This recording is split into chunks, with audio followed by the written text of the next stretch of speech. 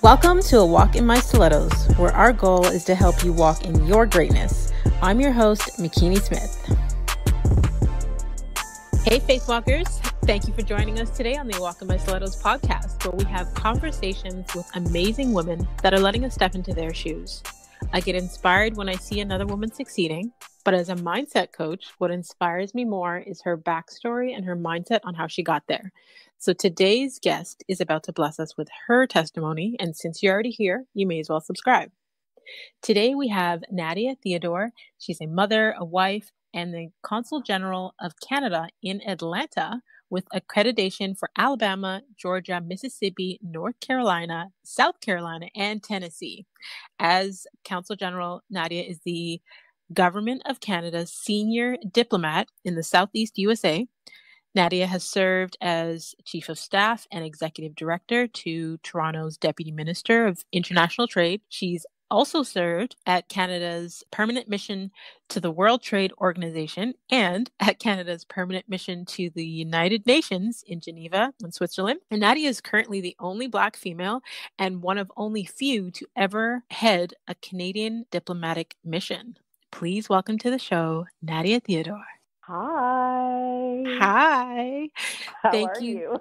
I'm good. Just I just wanted to thank you so much for agreeing to come on and share your story with us. I'm absolutely honored. Oh, I'm I'm very happy to be here, and I have to apologize because I'm going to start off by making a small correction on behalf of my Ottawa peeps. So in the intro, you said that I served as to Toronto's deputy minister, but in fact, it was Canada's deputy minister in Ottawa.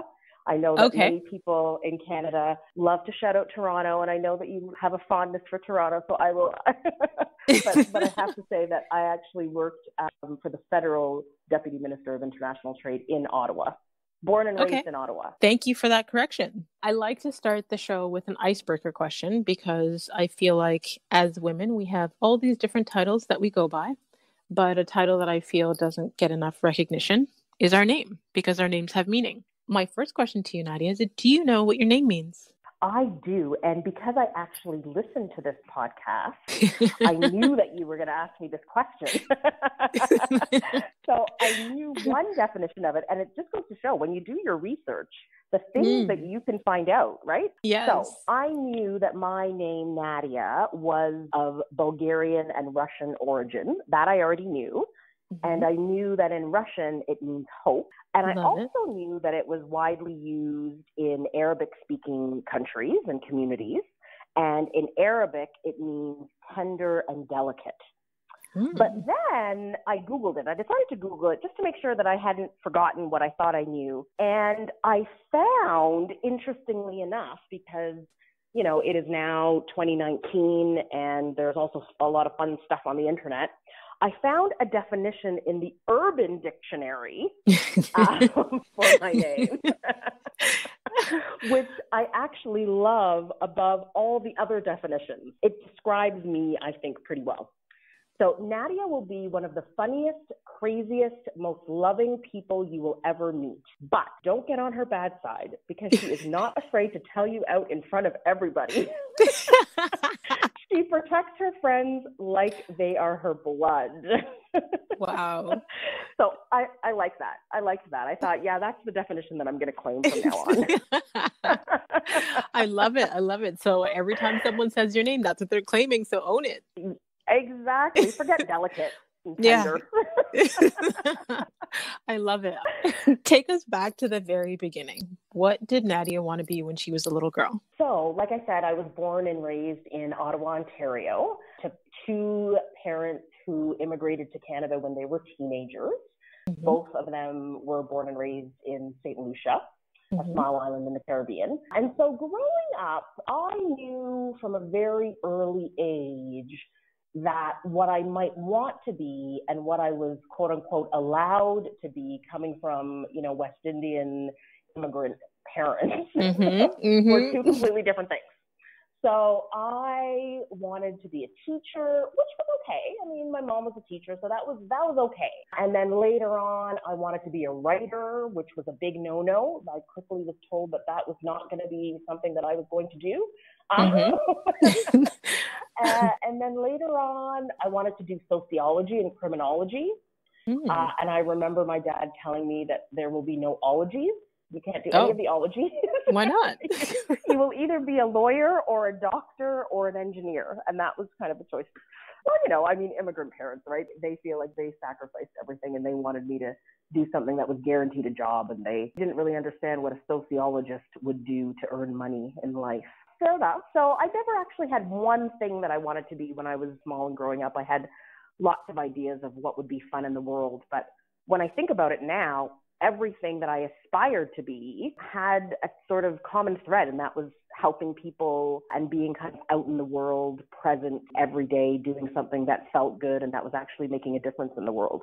I guess that's the common thread looking back at it now. All of my ideas of what I could be when I was an adult. I always find it interesting, especially for first generation Canadians, because our parents have a completely different mindset. And like you said, they have influence, they had a lot of say in what they wanted you to be growing up. I guess my question to you is do you have those same beliefs with your children? Oh, that's a good question. do I have those same beliefs? With, I think the right answer to that is no, of course not. She can be whatever she wants. right? I think that's the right answer. Yeah, yeah. um, yeah, you know, I think, listen, I think if we're honest with ourselves, I think there are very few parents who don't find it difficult to hold dreams in their hearts for their children. But I do think that, and it has to do with privilege, right? I mean, I am now somebody who has a very good job, who makes a very good living, who's comfortable in their skin. And so all of those things contribute to being able to be a little bit more relaxed in terms of the vision that I have for my daughter in my heart, right? So right. I want her to absolutely grow up and have a job. Um, I would like her. I would like her to have a job where she is able to support herself um, and to feel happy and to know that she is contributing to society and to her family, whatever that family looks like. But I don't have a certain profession like my parents did, right? They right, wanted me to right. be, my dad especially, a lawyer, a doctor, an engineer, you know, a profession. That I had the privilege of not having the weight of that. And my daughter's father, my husband, would say, in fact, that he would be very happy if she lived in our house for the rest of his life, for the rest of her life. Daddy's uh, little girl. right? right? Yeah, right. exactly. Which is very different than how I grew up or any of my siblings grew up, regardless of whether we were daddy's little girls or not, right? So that comes with a certain degree of privilege, obviously. Right. And, and I recognize that. Yes, for sure. Like I, I look at a lot of women today who, especially the ones who come to me for coaching, where they're in professions where they're not happy, they're not feeling fulfilled, but it's because they're doing something that they were told to do, not something that they actually desired to do. But I love yeah. how you said, you know, you want your children to be able to make a living to take care of themselves, to serve, to do good things, but you haven't put a specific title of a profession on them. So they still have that yeah. freedom to do what they're yeah. passionate about, just exactly. falling into, you know, being a good person. I love that. I love that. So share with us how your journey began and how you became Consul General of Canada in Atlanta. You know, can I just say something? This is the question that I dislike the most. I have realized so, I, and I say this, I preface my answer as an apology to your listeners because mm-hmm. I have realized that I am no good at telling my own story. I can tell somebody else's story. I can sell Canada. I can, you know, sell any sort of diplomatic advocacy issue that you need me to do it. But when I need to sell myself, it's not it's not so good. So so how I got here, I finished high school and went to university. I did go to law school as was requested, and, um, finished law school and realized after law school that I well realized after law school I knew that I knew before. Surprise, surprise! I didn't want to be a lawyer, and so I came back home and joined the federal public service because I, I now I know of myself that I'm not really a risk taker.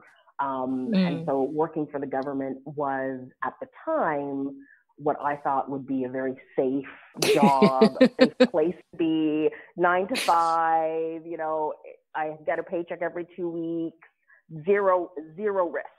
Being a diplomat is a little bit different. So, you know, I've, I've clearly evolved, but, but at the time, that's, that's what I thought. And then after a few years, I was working at uh, the Canadian Revenue Agency and I went back and did my master's because I knew that I sort of had a passion for international relations and especially trade uh, and trade policy. So I went to do my master's in that.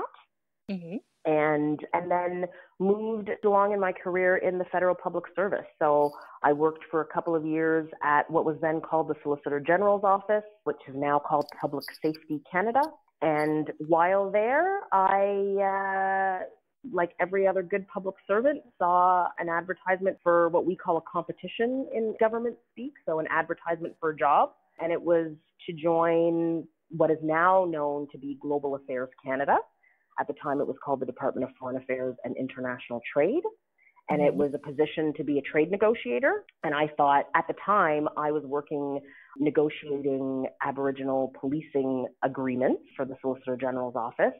And I thought, well, this is interesting because it combines my master's degree in trade policy and in uh, an administration and political science. And then it's also sort of building on my negotiation experience that I've gotten. And so mm-hmm. I applied. And at the time, I didn't think I was going to be successful at all because at the time, the way that it worked in the government was when you applied for a position, they get thousands of applicants, as we all know. Mm-hmm. And then they interview however many people they interview. You do a written test. And then I had an interview with a panel of six people. And then I had another interview with another panel of five people. And then at the time, the way that it worked was that they ranked all of the candidates. So everybody that wrote the test got an actual score. Mm-hmm. So you mm-hmm. either got like whatever, 80, 80 out of 100, 70 out of 100, whatever. And the person who got the highest score had to be offered the position first before they got to the person that got you know the second or the third highest right. and then down the list right right seniority um, yeah. and they only had they had two positions that they were hiring for out of this competition out of this job advertisement and I thought, well, there's no way. I mean, this is just ridiculous. I come to find out, I mean, I, I was successful, so I was the highest scoring of everybody um, that wrote the test. And then come to find out later that I was actually the only person that scored high enough to be ranked that didn't already work in the department. Oh, wow. Yeah. So, and I tell that story sometimes just to say to people, you know, you never know. Because I remember when I saw the advertisement and somebody had flagged it to me and said, Hey, Nadia, you know, have you ever thought of joining the Foreign Service? You should apply for this. This looks great. And I thought to myself, I'm not going to apply for this. This is foreign affairs. Nobody ever gets in. They're, they've got a department full of people that I'm sure people are going to apply from within the department, and there's not a chance. So why would mm-hmm. I waste my time? Right. Because for your listeners, anybody who's ever applied for a government job knows that it is a lengthy, tedious, time consuming process.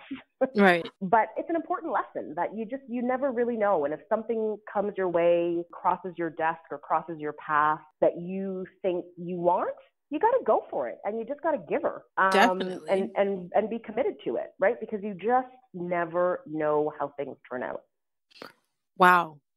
So there's like three things that I, I took from that that I want to touch on. One, you're living in Atlanta. I'm sure you've definitely heard this when someone says like you're the goat, like you're the greatest of all yeah. time. Like yeah, you are that. the best. Like you're not bragging when you say that. You you had the highest score. You had you're the best. So you could no one can dispute that. Like you can own that. That I wanted I was, to speak. I to. was the best at that moment in time. Yeah. so for someone who said they don't know how to tell their own story, like just start with that. To say, you know what, I'm number one. Yeah, I'm the, best. I'm the goat. that's good. That's good, actually. The, the the second thing I wanted to touch on is when you know you spoke about it being hard to get into the government, and you know you never know. You know you were shocked. I had a guest on episode, I believe it was 56. Her name's Tazia Brown, and she's currently think she's a national communications strategist for Canada's largest federal public yes. sector union. She's yes, amazing. Yes, She's but amazing. She, I listened to that one. She's yes, and she talked about she was waiting tables next door to this the government building, and now she's working in the government building and working for behalf of the people. Like you never know if That's you don't right. try. And That's then right. speaking of you never know if you don't try, there was a guest, uh, Vivian Kaye. I'm sure you know who Vivian yes. Kaye is. Okay, so she's absolutely her. I was just introduced to her online like a few months ago. I don't. I've never met her in person, but she is. She, oh fantastic. my gosh, her she's a ball of energy. She's a ball of sunshine. She is just a beautiful person. I had her on the first five interviews that I did for this podcast. Ah, but awesome. um, she has a, a, saying where she says, "What would Chad do?" And okay, that's become exactly that's become part of her talk because as women of color, we don't go after certain opportunities because we don't think that we're going to be able to get them. But Chad yeah. is that yeah. overconfident white male that okay. goes after opportunities whether or not is... he feels he's suitable okay. for or he has the credentials for, but he goes after it and he gets it because he I tried. So exactly when you're not sure, just ask what would Chad do? I love it.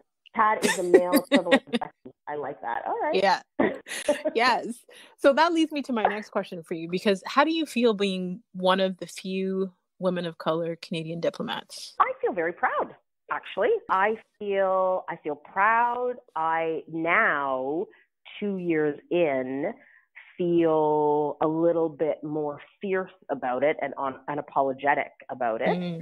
than I did at the beginning, I will say. At the beginning, coming in, I definitely felt, and still do feel a very big sense of responsibility to be, and I think many women of color, but especially black women, I think that are in any sort of position, but in, in particular a position that is high profile and a little bit outward public facing, you feel an obligation to be perfect, to be the very, very best that anybody has ever seen ever in the world at, at everything that you do, mm-hmm. uh, lest people think that you were there only because of the color of your skin. Mm-hmm. And so, you know, that is a weight that when you are also dealing with a new country, I'd never lived in the United States before. I had never visited the South before. Dealing with new files, dealing with a new team. So I am the head of an office here of 25 people, some of which are American, some of which are Canadian. So dealing with that cross cultural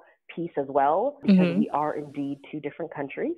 mm-hmm. so um, there are indeed cross cultural elements that are real. Uh, all of that is a lot. And then to layer on that the weight of being the best that you can be, not just because you want to do your best, but because you actually feel that this is the chance. And if you mess it up, then you will forever be known as the black girl that they gave a chance to that messed up, right? And then mm. and then you also feel the weight of bringing up people behind you and wanting to do the very best job so that the the powers that be will hire another black woman to do something fantastic, right? Right, um, right. So I think that there's a lot of weight to that. That can really be difficult. And if you're not careful, can eat away at you in a way that is not positive at all. Mm. Because number one, nobody is perfect. Right. Uh, and, and so trying to be is guaranteed failure. And number two, what I realized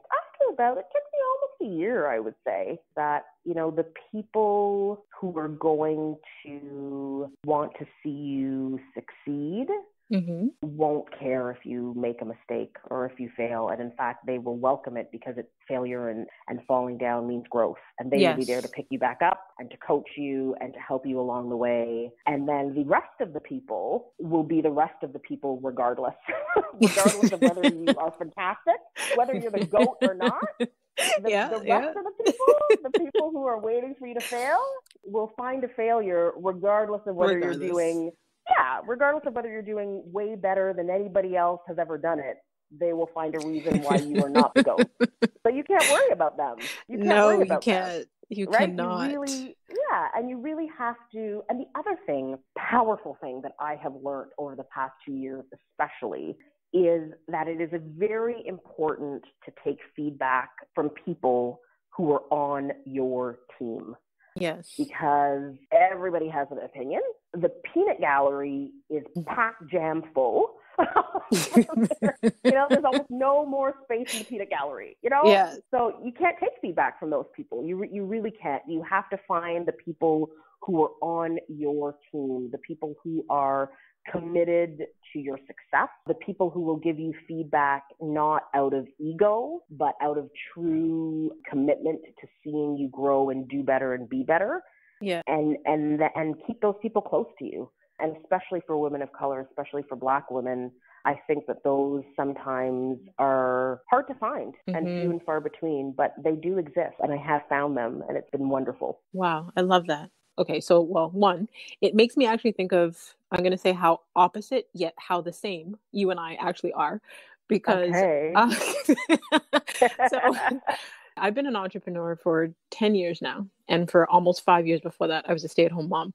So I am a risk taker. yeah I feel like in terms of so good I've tried working for the government. Uh, I'm not sure if you're aware, but I ran in the 2018 uh, I- I provincial know, yeah. election, yes and that was completely out of my comfort zone. Completely out of my comfort zone. And that made me realize that you have a special superpower that I have to definitely take my hat off to you for. And um, also within that whole experience, what you said about taking advice and feedback from your team and not listening to the peanut gallery, um, I think that's Mhm. huge because as tiny as my team was, and Mhm. as not diverse because my team so one in itself the area oshawa that i was running in is not very i'm going to say multicultural and diverse. And my volunteers and my team were mainly white. And i had a few people of color. Uh, if i recall correctly i only can think of one black woman that comes to mind. But the support and feedback from them was crucial in order for me to even survive running Yep. for that campaign. And the peanut gallery picked fault with my name. They picked fault with what side of Oshawa I li- actually lived on, or how far from the boundary line or the sign that says "Welcome to Oshawa" I actually live in. Like the Yeah. things that they would nitpick at. I'm thinking to myself, someone who genuinely wants to help, someone who genuinely wants to serve, and the negativity that comes from people that want to see you fail is just ridiculous. So It's- I i mean it's real absolutely yeah, so I definitely tip my hat to you on that one. thank you So share with us one thing that most people don't know about Nadia. Well, I think that most people might not realize. I'm going to use the word shy. Maybe shy is not the right word, but that I'm not actually the 100% extrovert that I think comes across when people meet me. Right. Uh, I think m- most people think that I'm a people lover and an extrovert and the life of the party and you know somebody that knows everything and wants to know everything and be in the mix and all that Mhm. And I'm actually quite I do love people, don't get me wrong. I definitely love people. I love being around people. I do get, you know, a lot of my energy from meeting people, meeting different types of people, which is why I think this is the perfect job for me. I love to talk to people who have differing views than I do. It gives me the most joy, actually. So I do like people, but I am not good with crowds. I do not enjoy small talk. I do not enjoy talking to people that I have no that you know just for chit chatting. I'm not Yeah. I'm not good at that. And, and at the Yeah. end of the day, this job in particular because it's so outward facing, at the end of the day, I am drained. I need to go home and curl up in my bed with my book. Mhm. Mhm. because I am I'm a little bit of an introvert that way. Like I too much of people gets me a little bit, you know, it drains me. So I do Yeah. I do need my me time and and that was something that I don't think people realize and especially in this job, first few months when you're learning all these different things and these new things and I had to read up and learn about the Southeast USA real quick. I would I would often be in my office with my door closed reading. I'm also very cerebral. I love policy and I and I read a lot and I love to dig deep into an issue.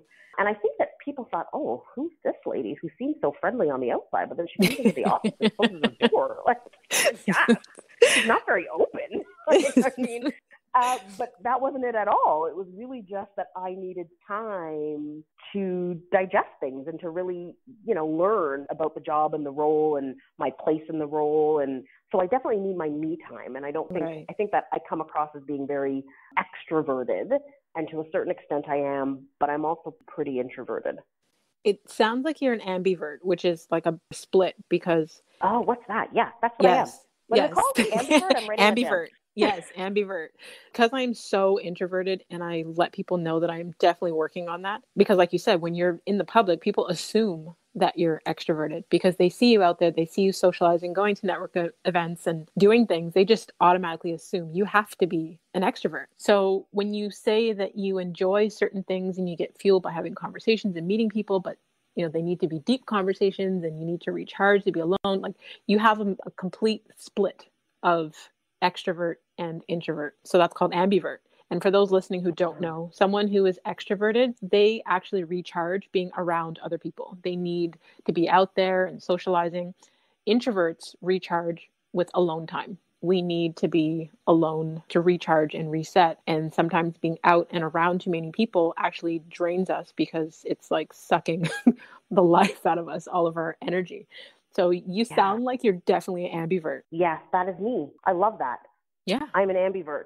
I didn't All know right. that word and now I do and I love it. and you know, I will also say, I have to say that, you know, coming up in the federal public service and especially at global affairs, I think that I also made an effort to always raise my hand, to always, you know, get to know people and talk to them and you know, volunteer myself for things because I knew, you know, we know as women and especially as women of color that we're not we might not be the first person that somebody chooses for something right and that we might have to work not might we will have to work harder and longer yep. than others to get the opportunity so mm-hmm. i was from the very beginning that was not lost on me my mother taught me well so mm-hmm. so i think that that also fuels the perception of being an extrovert because mm. absolutely I was the first person on the committee to do such and such or to you know raise my hand when they needed person to work extra hours to complete this file or there was something that nobody else wanted to do because it was tedious and I was always like I'll do it no problem you know? mm-hmm. So it gives people the perception that you are an extrovert and that you always want to be up in the mix. But you know, I I definitely did that so that people would see my value and that, and it gave people the opportunity to see my work as well. Yes. I don't recall. I think it was there's a female motivational speaker. I think it was Mel Mel Gibson. I can't remember her name right now. But she okay. talked about as women when we go to meetings because we're already considered a minority as a woman and then you're a minority as a woman of color when you go to meetings to make sure that you ask questions to make sure that you sit in the middle of the table not at the end so that they don't see you as the note taker Exactly. Making sure that you're seen, noticed, and heard exactly. so that you're not dismissed for opportunities and so that you do get that chance that we actually have to work really hard for. Exactly. That might is that was that Mel Robbins? Maybe. Yeah. I was awesome. trying to remember. yeah. She's yes. awesome. That's exactly it. 100%. So so I did that and that's part of what got me what got me where I am but I always have to remind myself to recharge. And recharging mm-hmm. for me means being at home with my book. Love it. Yeah. So, what inspires you the most about what you do? I love these questions. I love that I did not have them in advance. Because, like, I'm like, oh, that's a good question. Right now, I am sitting at my desk mm-hmm. and I am looking at the Canadian flag, the Georgia flag, the American flag, and then a big pop up poster of Viola Desmond that just oh, arrived wow. from the Bank of Canada. Wow. Yes, the Bank of Canada pop up I should send you a picture. And we ordered them because we did a Black History Month event. We started a series called the Viola Desmond Lecture Series last year for Black History Month. Mm-hmm. And the Bank of Canada sent us these pop ups, and I didn't want to send them back. so they, they, so we bought them, and so now it's sitting in my office. And as I look at, so whenever I come into my office in the morning, that is what I am greeted with. And, you know, that inspires me. The fact that when when it got dropped off, my communications person, uh, who's another black lady, said to me, "Well, look at you and Viola sitting here in this big office with these Canada flags, this American flag, right? Look at you! Look at you! Who would have thunk it?" Yes. Um, yeah, that inspires me. It inspires me that, you know, not long ago, my dad used to say, you know, he would come home and say that he was passed up for a manager position, not even a director position, a manager position. And he said, you know, at least my director was honest to me. And he said, you know, people aren't going to listen to you. You're, you know, a black man. Like nobody, like we can't. Yeah, I mean that wasn't so mm-hmm. long ago. You know, my dad. Yeah. And here I am today. So that inspires me.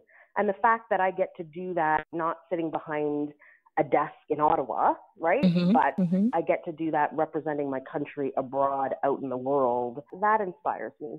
Absolutely. I love I it. That, yeah, Canada is not perfect. I am not saying that. I'm not trying to be Pollyanna about it, but mm-hmm. um, but we're pretty darn good. Uh, Mm-hmm. and and I love and I love representing my country abroad. That that Representation matters. Yeah, absolutely, absolutely. I love it. So I love it. yeah, So, can you speak to some of the adversities that you've had to experience to get to where you are today? yeah, nothing any different than anybody else. So I listen to your podcast uh, a lot because I think it's fantastic. I've listened Thank to several you. episodes. No, honestly, I think it's fantastic. And you know, your listeners hopefully are, are very loyal and have listened to, to many episodes as well. And so everything that everybody else has talked about in terms of adversity, especially being a black woman in a professional setting, has happened to me. So I have absolutely had people as I walked into a room for a meeting that I was leading uh, ask me for coffee. Um, Mm, uh, you know, I have absolutely had people mistake me for the note taker, 100%. You know, I have had people come into my nice office here and say things like, not too long ago, this would have been my office and you would have been serving me coffee. Uh, Oh, you know, like wow. all, all, all of the Oh. things. I mean, all of the things, right? Oh, yeah, all of the things. But you That's not what? blatantly I- racist or anything. yeah, yeah. Or sexist. Yeah, or yeah, exactly. Right. You kind of think, oh, which one was that? Okay. Yeah. Both. Combination of both. yeah. Yeah. And you know, so those are kind of the obvious things. But what I think that we often, and now we're talking about it a little bit more and we've got fun buzzwords for it. But what I think has been most difficult, especially given my personality, I'm a middle child. And so I always aim to please and to smooth things over. And I like there to be peace. I like a good debate but Mhm. uh, and and I am able to debate and then break bread after, right? To me, that's normal, but I I realize that for others it's not, and so that makes me uncomfortable. so I'm trying to always trying to make people comfortable, you know, trying to get people to see both sides of this coin, and you know, Mhm. middle child syndrome. And so for me, what's been more difficult are like the little jabs, you know, the oh wow, you know, you've done so well. I'm really happy for you. Wow, you've done wow, I'm really oh, good for you. You know, Mhm. like yeah, okay, yeah, I've done yeah, I've done I have absolutely done well, but you know, Yeah. have lots of other people and you know, you sound surprised. I'm not sure Ex- why. Yeah. right? Or Yeah. you've gone so far so quickly. Wow. Like you no, didn't earn that or you didn't work for that. well, Like and not that not that quickly. No, no, actually, you know, actually, a lot of my peer group that I came up with in in the government are at the same stage that I'm at. So this is Mhm. normal.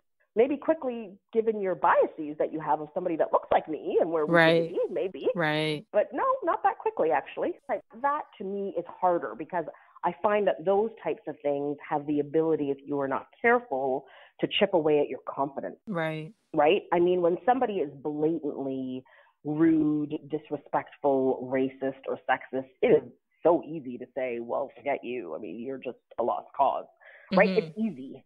But little things like people being surprised at where you are, or constantly saying that, you know, you got here so quickly, that can chip away at your confidence because it makes you feel like you are some, it can make you feel, if you're not careful, like you don't belong where you are, right?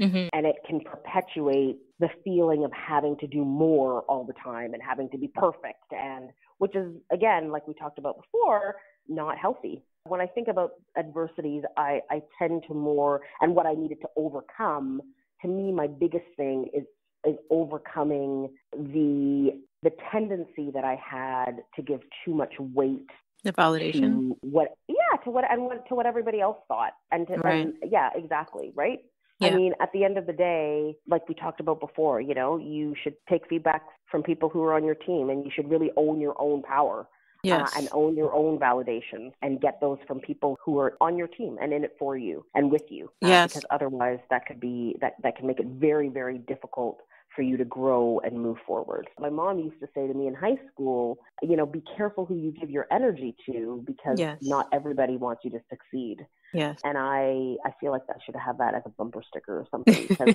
I I try and live by it more than ever now. Very very important. I totally totally agree with you. I used to let the backhanded compliments get to me and then yeah. I learned, you know, thank God for personal development, where I yeah. had to actually learn that when people say stuff like that, it's because of their own limiting beliefs of what they yeah. believe is possible for them, why they don't exactly. understand why you've been able to multiply your results and get to where you are. Because they exactly. they didn't see the way that you did it as possible, or they didn't see how you were able to get there. They have no idea what you had to do to get there. Yeah, they have exactly no idea what you're even capable of but because of their own limitations they're like oh how'd you get there so quick like that's exactly that's exactly yeah. right you're 100% yeah. right if yeah. you don't if you haven't done that personal growth then you take it personally right and it starts mm-hmm. to kind of play with your own with your headspace yes so whenever whenever i think about adversity and especially when i'm talking to young women and especially young women of color I always want to talk about those little comments, those adversities that are a little bit less obvious, because I feel like that more and more, especially with social media, and you know mm-hmm. everybody apparently is your friend, mm-hmm. and you know you get however many likes, and apparently that means that everybody's supporting you. Well, yeah, no, actually. no, it doesn't. Um, yeah. so let's not get it twisted, right? Yeah, um, yeah. so uh, those things to me are just as important, not more important, but just as important in terms of adversity and talking about what you need to overcome in today's world to make it and be who you want to be than some of the more obvious things, which of course I have dealt with as well. But I think it's important to talk about the less obvious and the more nuanced uh, things. Yeah, I think to speak to what your mom said about careful who you give your energy to, because people who make those backhanded compliments, they're planting a seed. And like you said, if your self confidence isn't where you would like it to be, that seed actually subconsciously you start to water that seed and you yeah. start to doubt yourself and you have this negative self-talk and then before you know it you're self-sabotaging your own right. opportunities because of some bad seed that somebody planted in you without exactly. good intention. Exactly. Yeah. 100%. 100%. Yeah. So have you had any coaches or mentors that have helped you along the way? Yes. Absolutely, 100%. So I have had very good mentors. I am very lucky in my career. Kirsten Hillman, who is now serving as our ambassador to the United States in Washington. So I worked for her for several years, and she has been a mentor and frankly has become a friend, but started off as a mentor to me and really taught me to prepare, to do my homework, to really understand where it is that I wanted to go, either on a file or in my broader career, and then to make a plan and then execute. You know, mm-hmm. she is a lawyer by trade, and she is a very disciplined, cerebral, thoughtful person. Mm-hmm. Uh, and, and I continue to learn a lot about her from a work perspective on how to really succeed. Like, what do you actually have to do? You know, like platitudes mm-hmm. are great and one liners are wonderful and all the motivational speak, speakers mm-hmm. in the world are fantastic. But you also need the actual tools. You know, you need somebody to actually to tell you, okay, when you are working on a file, you need to do the research, you need to talk to these people, you need to right like actual yeah, yeah. concrete yep. advice. What's the strategies? Been, yeah. Yeah, what's the strategy? So she's been wonderful at that and giving me hard feedback. So that's been really, really good. So I'm lucky to have her. And then, you know, there have been other women, mostly women in my career, who have given me opportunities. Not always women, but mostly, um, who have given me opportunities that I otherwise wouldn't have had. I am here as consul general because my boss, who was at the time the deputy minister of International Trade, Christine Hogan. Um, she's now the Deputy Minister of Environment and Climate Change. When I went to go work for her as the, her chief of staff, she said to me, you need to go abroad. You need to be a head of mission, whether that's a consul general, an ambassador, or a high commissioner. So we need to plan for that because that's mm. what you're mm. going to do. And I said, Oh, I don't think I can do that. And she said, Oh, yeah, I think you are going to do it. so it, let's, let's get ready. I love it when those who genuinely love and, and care for us, they see more for us than we see in ourselves Absolutely. sometimes and they're able 100%. to push us in that she direction. Really she was like mm, yeah i think you can do it. Absolutely. And then she laughed and she was posted to the world bank as canada's representative at the world bank in dc and then a new deputy minister came in Tim Sargent, who was equally as fantastic. I mean, I have been very lucky to have very good people that I reported to because he said the same thing. You know, he was like, oh yeah, don't yeah, you're you're gonna be doing that. And I was like, oh, I don't know, I kind of like I like it here, you know, I like I like working for you. This is great. He's like, no, yeah, you're gonna be going out, so you we need to prepare for that. Figure out where you want to go. mm-hmm. they helped guide you. Uh, they helped guide you. Yeah, and help push me. Forget about yeah. guiding. I mean, yeah. really helped you to, as Minda Harts would say, if everybody has not heard of Minda Harts and bought in the book The Memo, you should available on Amazon. She's amazing. And as she would say, you just need to jump off the cliff. Yep. And sometimes when you're too scared to jump, you need somebody who's going to push you. Push. Yep. and so I have been lucky to have people to have people who are going to push me, who push me. And even when I came here, like I said, the first year was very difficult for me. I was letting a lot of negativity get to me. And it was Kirsten who said to me, you know, during a conversation, she said, you know, you're letting what is the best experience of your life be tainted by people in the peanut gallery. Mm. You know, I mean, so, you know, sometimes you need people to kind of either push you or to kind of hold up the mirror yeah. so that you can see yourself and what you're doing to yourself. Yep, to um, refocus. To help you change direction. Exactly. That's right. Yeah, to help you refocus 100%. So, with everything that you do in your job and at home, how do you take care of Nadia? What's Nadia's self care routine look like? Again in my bed with a book. I love my bed. Some people are couch people. I'm like in my bed under the covers with my book. I feel book. you. Read it. Yeah, you know, in my comfy pajamas. if I tell um, you right now I'm in my bed in my comfy pajamas, would you believe oh my, me? yeah, I would believe you because that would be me. that would absolutely be me.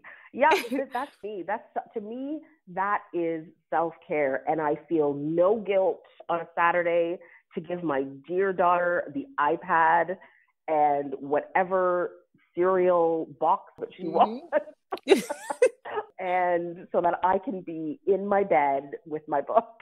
Mm-hmm. Uh, mm-hmm. So I try, yeah, I try. I've got a lot of evening and weekend events, obviously, but Saturday day I try to keep for me, especially because I'm traveling a lot. So when I'm not traveling, I try and be home in bed on a Saturday morning with my book. And then I, and then I try and exercise. I mean, I'm again lucky and have the privilege of being able to afford a treadmill that and a, and a bike that I have at home. And so I could lie and say that I try and do that every day, but I try. actually, it's not a lie to say that I try. I do try. You make an usually, effort. yeah, usually I get on it, you know, three times a week, so that's good. So so that also helps. three times a week is great. It's pretty good, right? that is great. Be gentle with yourself. Absolutely. That is great. Exactly. That is way more than zero. Exactly, it is. It's three yes. times more than zero, in fact. Yeah, exactly. And so, yeah, yeah, I try and do that, and that helps to clear your head. You know, I feel like moving and listening to music that you love. For me, I'm a big music lover, so for me, that really helps to to clear my mind. Yeah. So I have this question that I like to ask every guest that comes on because I came across this article in Reader's Digest, and so far it has been on point. So let's see. Yeah. But the article basically says that your favorite type of shoe says a lot about your personality. Yeah. So, Nadia, my question to you is what is your favorite type of shoe? Is it a high heel boot, a running shoe, a walking shoe, a flat, flip flop, a loafer, mule, wedge, pump? I don't know. What's your favorite type? Yes. So, my favorite, if I had my druthers, I would be in a sneaker every day, all day.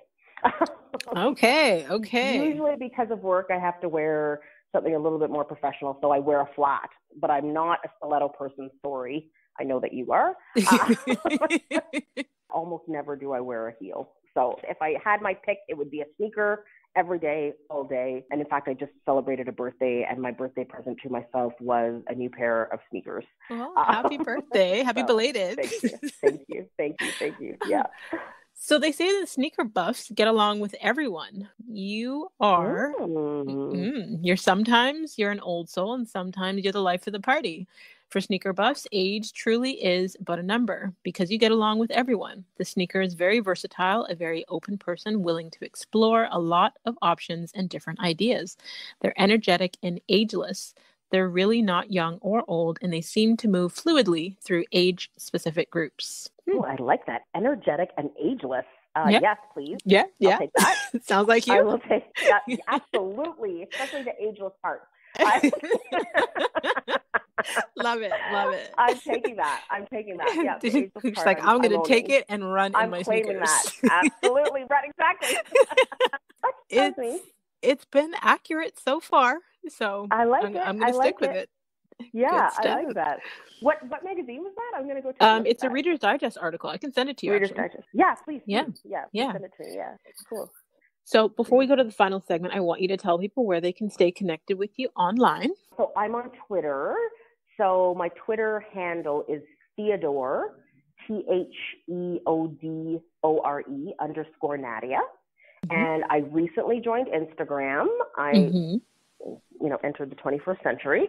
and my Twitter, my my Instagram handle, do you call it a handle? Is yeah. uh, CG, uh, as in Consul General, CG Theodore on Instagram. And that's it. I'm not on Facebook. Okay. Oh. So and I will make LinkedIn, sure. And it's just my name on LinkedIn, Nadia Theodore. Love it. I will make yeah. sure to have the direct links in the detailed section of your episode so they can click and find you directly without awesome. any issues. Awesome. So, for the final segment, I like to call it a walk in her wisdom. I finally decided on a name. And like it's it. just reflection hmm. questions where you share inspiration from your walk. What new belief, behavior, or habit has improved your life in the last five years? The belief that I am good enough. Mm, yeah, that's a big definitely one. the belief. Yeah. What advice would you give your younger self? I would remind myself of the advice that my mother tried to give me when I was younger that I refused to take on board until much later on. Be, be careful who you give your energy to. Mm. Not everybody. And the second part is the most important. Not everybody wants you to succeed. Yeah. You know, not everybody is your friend and not everybody is on your team. And that is a fact of life. So be very careful who you give your energy to.